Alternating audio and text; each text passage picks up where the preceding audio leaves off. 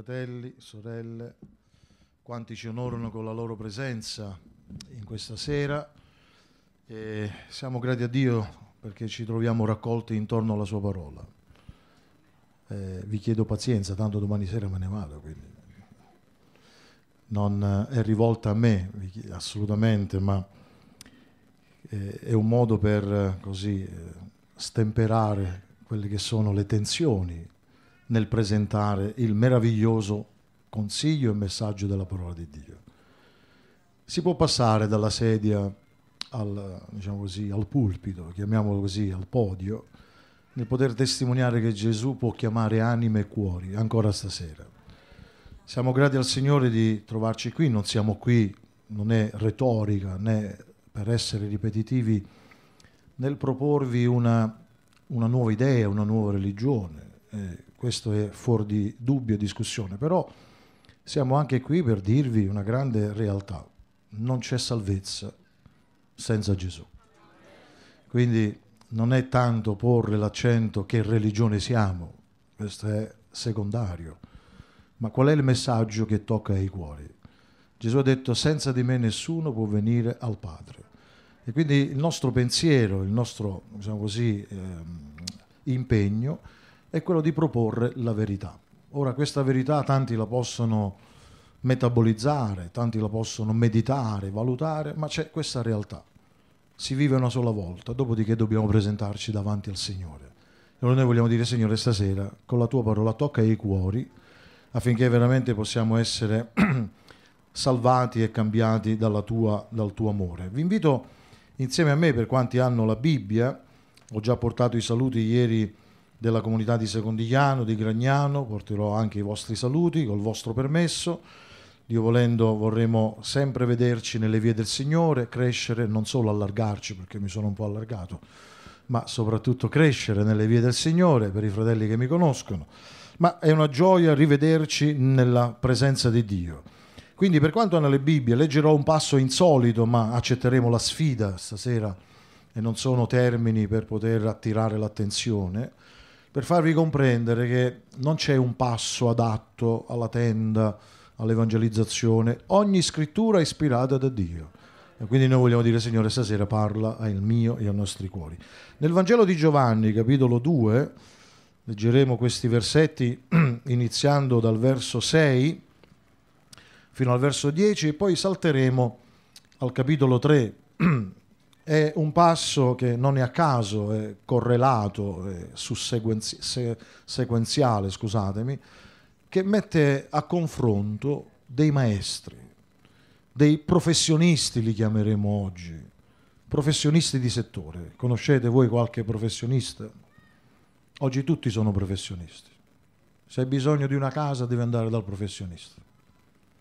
Se hai bisogno di, di chi ti legge la mente, devi andare dal, dal professionista. Se hai bisogno del matrimonio, devi andare dal professionista. Tutti sono diventati professionisti.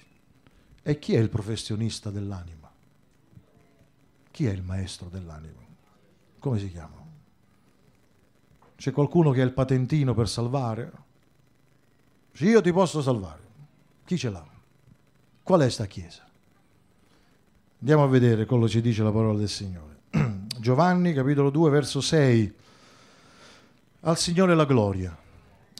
C'erano là sei recipienti di pietra del tipo adoperato per la purificazione dei giudei, i quali contenevano ciascuna due o tre misure. Gesù disse loro riempite d'acqua i recipienti ed essi li riempirono fino all'orlo. Poi disse loro adesso attingete e portatene al maestro di tavola ed essi gliene portarono. Quando il maestro di tavola ebbe assaggiato l'acqua che era diventata vino, egli non ne conosceva la provenienza, ma lo sapevano bene i servitori che avevano attinto l'acqua. Chiamò lo sposo e disse, ognuno serve prima il vino buono e quando si è bevuto abbondantemente il meno buono. Tu invece, memorizzate questa espressione, tu invece hai tenuto il vino buono fino ad ora. Capitolo 3 dello stesso Vangelo ci parla di un altro maestro, questo è più particolare. C'era tra i farisei un uomo chiamato Nicodemo, uno dei capi dei giudei. Egli venne di notte da Gesù e gli disse, Rabbì o maestro, noi sappiamo che tu sei un dottore venuto da Dio perché nessuno può fare questi miracoli che tu fai se Dio non è con lui. Gesù gli rispose, in verità, in verità ti dico che se uno non è nato di nuovo non può vedere il regno di Dio. Nicodemo gli disse, come può un uomo nascere quando è già vecchio, può egli entrare una seconda volta nel grembo di sua madre e nascere? Gesù rispose, in verità ti dico che se uno non è nato d'acqua e di spirito non può entrare nel regno di Dio. Dal verso 9, Nicodemo replicò e gli disse, come possono avvenire queste cose? Ecco la risposta del maestro.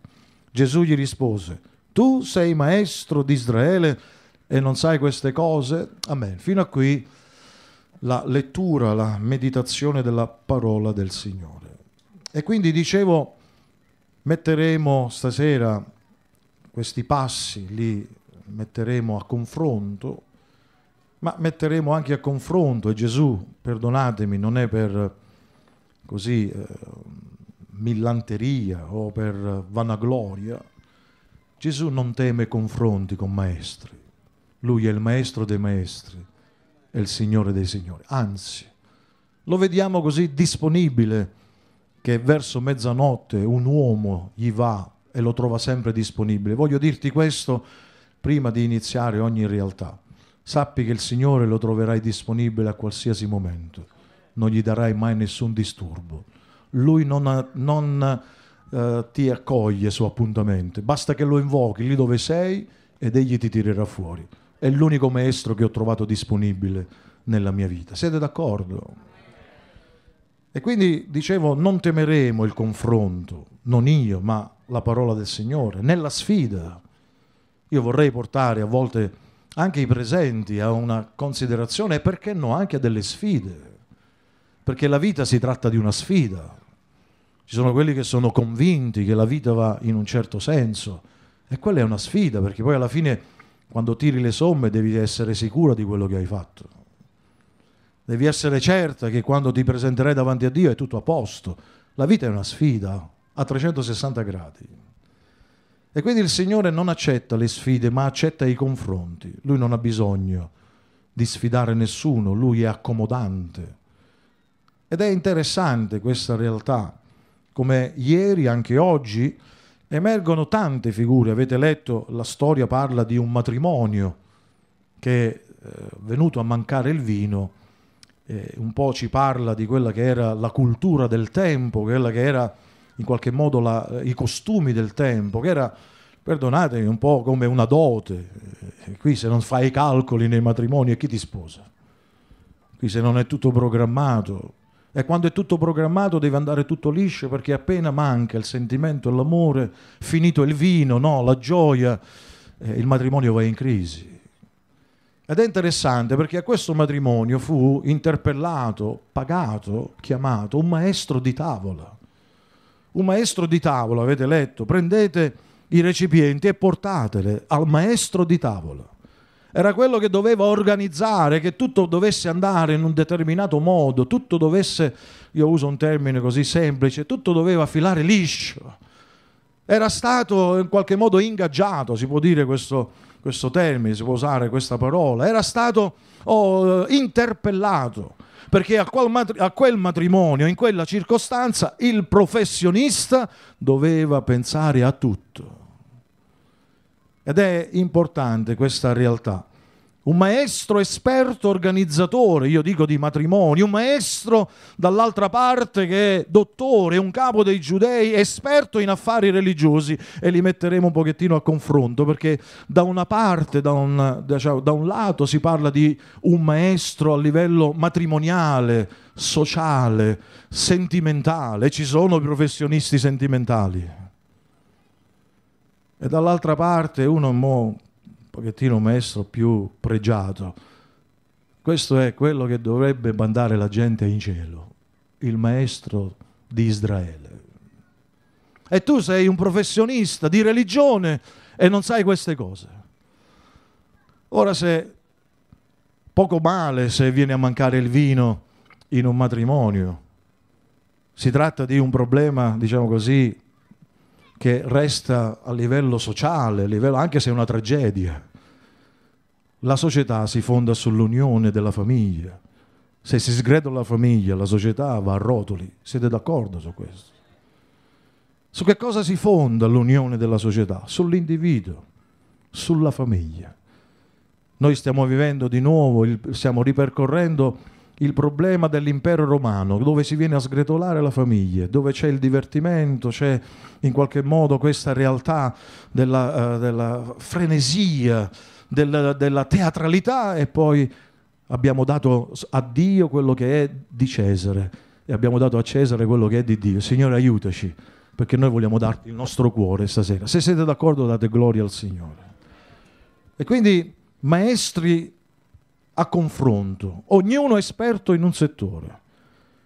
Un matrimonio deve essere organizzato, ci mancherebbe altro nei minimi particolari. Evitare ciò che è avvenuto in questa, a queste nozze, l'imprevisto. Mesi, anni per far coincidere tutto al meglio, no, è così la vita. Ci si deve programmare, si deve meditare, si deve studiare. Si chiamano i professionisti perché nulla deve essere lasciato al caso. Tutto deve essere ben organizzato. Gli invitati, la casa, il viaggio, eh, eh, tutto quello che può in qualche modo oh, corredare una vita, una famiglia, un matrimonio. Ne, la cosa più importante per degli sposi è quella di tutte le cose devono essere fatte in un modo perfetto. Ma in questo matrimonio, quello che era chiamato a risolvere i problemi, l'unica cosa che sapeva fare è solo sapere quello che è buono e quello che era meno buono. Ma non può dare gioia dove non c'è gioia. Non può dare pace dove non c'è pace. La mamma di Gesù non andò dal maestro di tavola e disse non hanno più vino perché i professionisti possono solo sapere quello che è perfetto, quello che è in qualche modo docco, quello che non è eh, di buona provenienza, tutto lì, sanno, possono capire e scegliere e discernere quello che può andare e quello che non può andare, ma non possono fare miracoli, non possono unire mar- un marito e una moglie, non possono mettere gioia dove c'è guerra, non possono mettere pace dove c'è paura, solo un maestro lo può fare. Solo uno può cambiare l'acqua in vino. Solo uno può dare la gioia dove non c'è. Ed è Gesù Cristo, il Signore della gloria. Se siete d'accordo date gloria a Dio. Ed è una realtà quella che avviene. La crisi in questo matrimonio, perdonatemi, poi passo oltre, gli imprevisti in un matrimonio. Ci può avvenire nella vita sociale, lavorativa anche e noi ci affidiamo ai professionisti nei momenti difficili. La crisi in questo matrimonio è venuto a mancare. E come si fa? A chi dobbiamo rivolgerci quando manca qualcosa? Amici, fratelli, quando manca qualcosa, voi a chi vi rivolgete? A dei professionisti? Perché ci sono professionisti in ogni settore. A livello sociale, gli imprevisti in un matrimonio. Ma voglio farvi una domanda, perdonatemi, anche una provocazione, è chi offre garanzie alla vita. Chi maestro può garantire che una cosa che inizia in un modo può finire nello stesso modo? In questo episodio si parla di un matrimonio, ma possiamo allargare il discorso. A 360 gradi è venuto a mancare il vino, ecco perché è venuto a mancare la luce. Possiamo fare un discorso a 360 gradi. È venuto un imprevisto. E chi può garantire, fratelli, sorelle, amici, che quello che inizia bene finisce bene? Solo uno lo può fare. La Bibbia dice che l'opera che il Signore ha iniziato in noi la può portare a compimento. Vado avanti. Se finire rischiamo che poi finisce la corrente, la benzina forse. Ma io sono convinto che il Signore ci farà arrivare fino alla fine. Quindi, vedete, Dio, in questo caso Gesù, mentre questo maestro venne preso alla sprovvista, non può risolvere il problema, può solo constatarlo. Voglio infierire ancora un po'. Scusate, eh, che cosa me ne faccio di un professionista che non può risolvere i problemi e può solo dire, eh ma c'è un problema, anche i bambini lo sanno. Ah, in questo matrimonio c'è un problema, ma questo lo sanno anche i figli. Io non ho bisogno di un, di un, professionista, di un maestro, di un dottorato, di uno psicologo, di un luminante che mi dice tu hai dei problemi, io ho bisogno di chi me li risolve i problemi, non di chi me li venga a sottolineare. Oh guarda, in questa famiglia c'è un problema. Ah ma sì, veramente. Li puoi risolvere i problemi? No, io so solo che c'è un problema. E perché pagare delle persone dove ci vengono a dire che abbiamo dei problemi. Noi già lo sappiamo. Noi abbiamo bisogno di un medico che ci risolve i problemi. Il medico dell'anima. Ed è Gesù Cristo, il figlio di Dio. Possiamo dare gloria al Signore. Poca cosa se a livello sociale, a livello lavorativo viene a mancare qualche sostegno. E se il maestro di tavola non aveva una soluzione, il secondo maestro, l'organizzatore, perdonatemi, non di un matrimonio, ma della vita religiosa. Tu sei un maestro in Israele e non sai queste cose. Scusate, ma la gente che andava da Nicodemo, che cosa imparava? I canti? Imparava a leggere la Bibbia? Ma questo uomo non poteva mandare nessuno in cielo. Questo uomo non poteva garantire l'ingresso in cielo a nessuno. Tu sei maestro? E come possono avvenire queste cose? Ma come? Tu vai in chiesa, leggi la Bibbia e non hai un cuore nuovo? No, io ho imparato a fare le preghiere e il cuore nuovo chi te lo può dare? Se tu non nasci di nuovo. Ecco la differenza tra un professionista e il maestro dei maestri. C'è uno che parla delle cose di Dio e uno che è il vero Dio, Gesù Cristo, il nostro Salvatore, il mio e il tuo Salvatore. A Lui sia la lode e la gloria. Possiamo dare gloria a Dio. Pensate se il secondo Nicodemo, la sua professione lo abilitava nel garantire alla gente, alle folle, l'ingresso nel regno di Dio. Un dottore in Israele il quale non conosceva che bisogna nascere di nuovo. Ci vuole del nuovo nella tua vita, nel mio cuore. Ci vuole una fede, una fede, viva, ci vuole una pace sincera, ci vuole un cuore, come disse Davide, Dio crea in me un cuore nuovo. Non ci vuole una religione nuova, ci vuole l'incontro con il vero Dio, il Maestro dei Maestri, il Signore dei Signori. A Lui sia la lode e la gloria. Pensate a queste affermazioni. Se il maestro Nicodemo non può garantire ai suoi seguaci l'ingresso nel regno di Dio, a che cosa servivano allora le sue lezioni sulla Bibbia? Leggiamo la Bibbia e la gente rimaneva sempre attaccata ai vizi. Leggiamo un passo della scrittura e la gente andava a casa e il matrimonio andava in crisi. E che cosa serve andare in qualche luogo dove si parla di Dio e non si realizza Dio. Questo faceva il maestro Nicodemo. Tu insegni, ma non puoi garantire alla gente una vita nuova. Tu leggi la Bibbia, ma la gente non può entrare nel regno dei cieli. Perché nel regno dei cieli non si entra leggendo la Bibbia, ma finché questa parola ti entra nel cuore, se tu non nasci di nuovo, non entrerai nel regno dei cieli. Ah, ma io sono diventato, sto frequentando quella comunità. Si parla bene.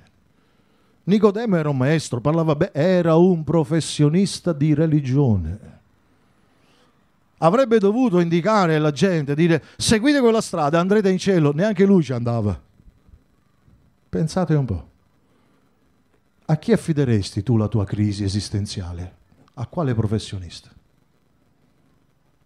Se tu ti dovessi trovare in una difficoltà sociale, lavorativa, matrimoniale, va bene, hai i tuoi metodi. E se stai vivendo una crisi spirituale, chi è il tuo mentore?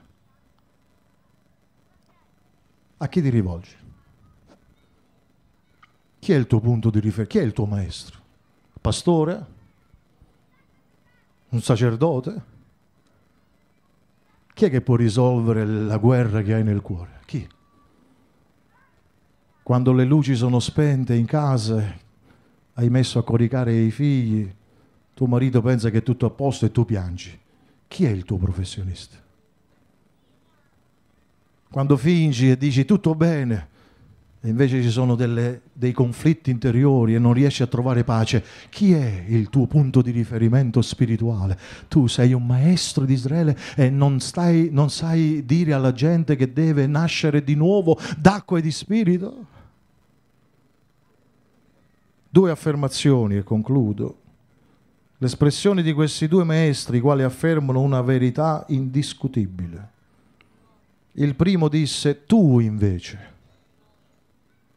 Abbiamo letto al capitolo 2, al verso 10, lui dice, ognuno serve prima il vino buono, poi quando si è bevuto il, abbondantemente il, beno, il meno buono. Poi fa un'affermazione, tu invece non sei come me. Io sono un maestro di tavola, dovevo garantire che in questo matrimonio nulla accadesse, o diciamo così, di, di, di, di, una defiance, di un problema e non sono stato capace di risolvere i problemi. Posso solo avvertire, c'è un problema in questa sera.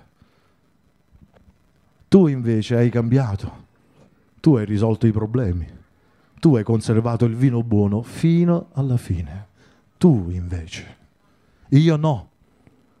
Io posso solamente sottolineare, io posso solamente individuare, io posso solamente indirizzare. Tu invece hai mantenuto la gioia in questa vita fino alla fine. Tu gli hai garantito la serenità. Se siete d'accordo date gloria a Dio. È il maestro di Israele. Una bella responsabilità, un bel titolo, maestro di Israele, di una nazione. E lui dovette affermare, mi avvio veramente alla conclusione, questa realtà. Guardate, ascoltate. Nicodemo replicò, gli disse, nessuno può fare questi miracoli che tu fai. Io non riesco a farli, ma tu sì. Perché? Qual era la differenza di Cristo a Nicodemo? Lui era un dottore di religione, ma non poteva dare a quanti siedono qui stasera sotto questi gazebo una nuova prospettiva. Poteva dargli solamente delle indicazioni religiose, ma non poteva garantire pace. Gesù ha detto io non vi do la pace come il mondo la dà, ma come io la do, io sono il principe della pace. Siete d'accordo o no? Nessuno può fare questi miracoli che tu fai Oh, tanti parlano bene, tanti attirano le folle, hanno dei bei progetti, dei bei programmi. Ci sono chiese che iniziano in un certo orario e finiscono con un certo orario o oh, attirando folle, gente, pieni di impegni, ma non possono dare a quanti ne hanno di bisogno un cuore nuovo e un'anima nuova. Tristi sono entrati, hanno assistito a un programma e tristi se ne vanno e hanno bisogno sempre di ripetere certe esperienze. Ma se Dio è con noi, chi sarà contro di noi? Chi ci separerà dall'amore di Dio? Possiamo dare gloria al Signore. Tu fai. Nessuno può fare quello che tu fai. Nicodemo poteva insegnare, poteva conoscere la storia biblica, ma non poteva dare alla gente quello che aveva di bisogno, una vita nuova poteva assolutamente garantirgli un posto in chiesa, ma non poteva garantirgli un posto nel cielo. Uno solo è il mediatore fra Dio e gli uomini. Uno solo è il Signore, il Re dei Re e il Maestro dei Maestri, è Gesù. Giovanni Battista non disse seguite me, io sono la voce di uno che grida nel deserto. Di quale battesimo? disse Paolo a quei discepoli siete stati battezzati. Oh, del battesimo di Giovanni, ma non basta. Ma quello è un battesimo fatto nel nome di un uomo e in vista del ravvedimento. Siete stati battezzati nel nome di Gesù, nello Spirito Santo. Giovanni Battista non disse io sono maestro, ma lui disse c'è bisogno che Gesù cresca e io diminuisca. Seguite lui, seguite Gesù. Ecco l'agnello di Dio che toglie il peccato dal mondo. Abbiamo bisogno di una religione che ci dica che siamo nei problemi? Ce n'è un'infinità di religioni che dicono che siamo nei problemi.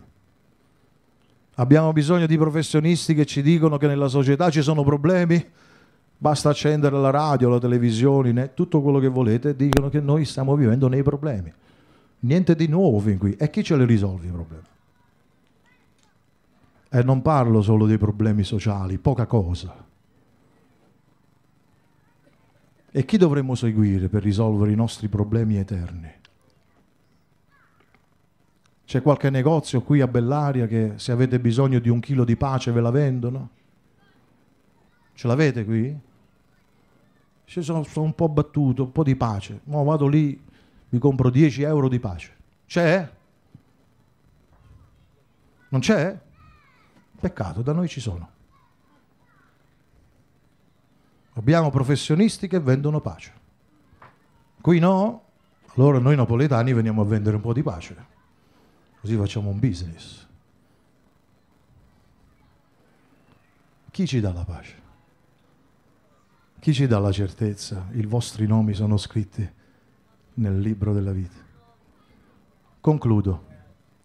Di che cosa hanno bisogno le famiglie? Di vino? Anche quello è buono. Di denaro? Che cosa hanno bisogno le generazioni? Che gli risolviamo i problemi lavorativi? Eh, perché se viene uno oggi e ti risolve i problemi lavorativi, quello è Dio. E l'anima? Beh, poi ce la discutiamo con Dio, no? Si dice così?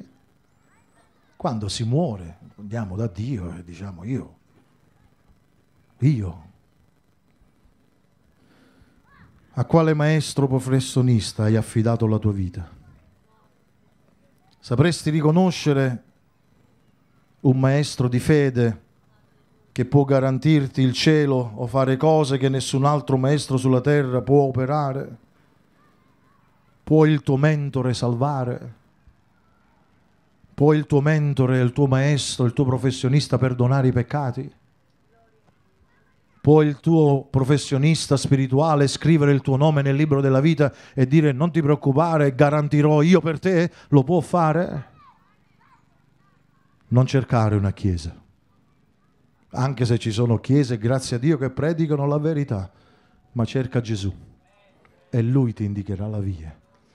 Gesù ha detto io sono la via, la verità e la vita.